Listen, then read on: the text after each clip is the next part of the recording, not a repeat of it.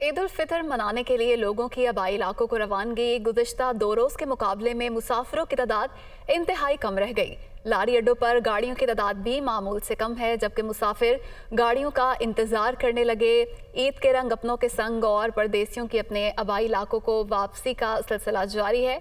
और मजीद सूरत हाल क्या है, बस अड्डों की जानते हैं। कराची से हमारे साथ मौजूद है नवीद कमाल। नवीद, बताइएगा सूरत हाल क्या है?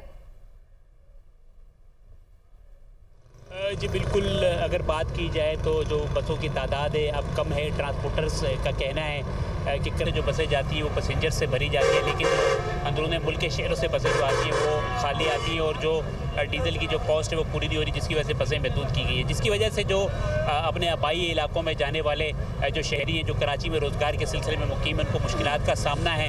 मुख्तलिफ़ बस स्टॉप पर हमने सूरत देखी कि बसें तो मौजूद हैं, लेकिन अक्सर लोगों को जो अपनी मंजिल मकसूद की बसें वो नहीं मिल रही। वो मुख्तलिफ़ जगहों पर घूम रहे हैं, मुख्तलिफ़ स्टॉल्स हैं बॉक्स हैं टिकट्स जहाँ पर वो जा रहे हैं और उन्हें बसें नहीं मिल रही। मुसाफिरों का कहना है कि जो बसें मिल रही हैं, उसका मुँह का किराया वसूल किया जा रहा है। अगर गुजशत साल के मुकाबले में देखें तो किराए में तकरीबन सौ फ़ीसद से भी जायद इजाफा बताया जा रहा है। यहाँ से सखर का किराया पंद्रह सौ रुपये वसूल किया जाता था। आमतौर पर अब तकरीबन तीन हज़ार से भी ज़्यादा वसूल किया जा रहा है और उसमें भी जो है जो शहरी उनको बसें नहीं मिलती। अगर कराची की बात की जाए तो जनूबी पंजाब, खैबर, पख्तनख्वा, गिलगित, बल्तिस्तान समेत तकरीबन तमाम मुल्क के जो है, लोग यहाँ पर मौजूद होते हैं। और हम जो यहाँ पर सराबकोट बस टर्मिनल पर मौजूद हैं। यहाँ मुख्तलिफ़ बस टर्मिनल हैं, जो मुल्क भर के लिए यहाँ बसें जाती हैं। लेकिन बसों की तादाद कम है।